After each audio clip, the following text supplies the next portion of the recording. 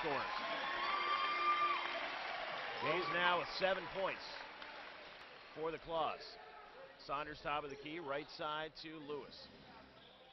Lewis gets a high screen, but Paul Harris is able to stay on him. Humphrey left side. Strowbridge three, why not? One point game with 39.9 to play in this opening quarter. Randall will pick up full court, works on Strowbridge quite a bit. Strowbridge drives all the way in. It's Into Justin Brownlee. Brownlee, right block extended, tries to find Anthony Kent, who can't catch it cleanly. Coming back the other way, RGV.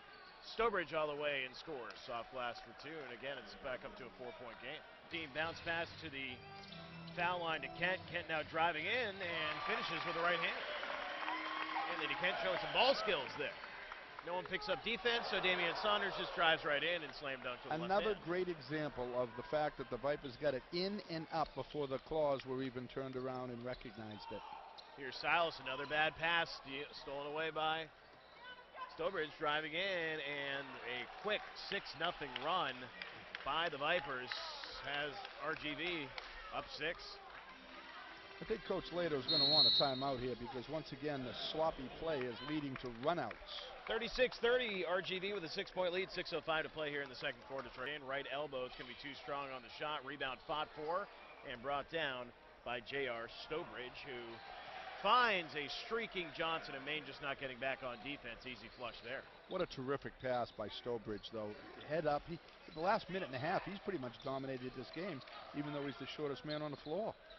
Left side, Paul Harris, three-pointer, no good.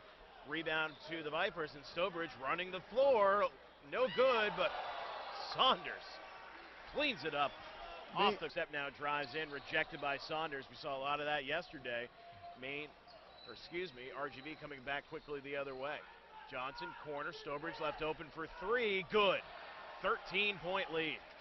And of course, that means it's a 13 0 run for the Vipers. Timeout, Maine and crowd a little bit, trying to get back into this game. Lead cut to 23. Strowbridge drives in, finds Smith. Smith slams it home. Another example of where Strowbridge just went blew by his defender, forcing the inside defender to step up, and a wide open dunk.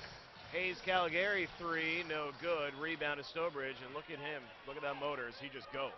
Strowbridge to the it's an open look for three. Can't get it to go though. Rebound to Saunders.